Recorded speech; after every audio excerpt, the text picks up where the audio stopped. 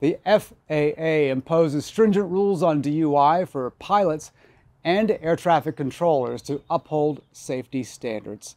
Under the law, pilots must report any DUI conviction or administrative action for alcohol related offenses to the FAA within 60 days. Air traffic controllers have similar reporting requirements to their employers as well as the FAA. A DUI incident can impact a pilot's medical certification, necessitating evaluations or treatment if alcohol abuse is suspected. The FAA may suspend or revoke airman certificates for DUI offenses, particularly if there are multiple DUIs within a three year period. Pilots must adhere to a 0.04 BAC limit and observe the eight hour bottle to throttle rule.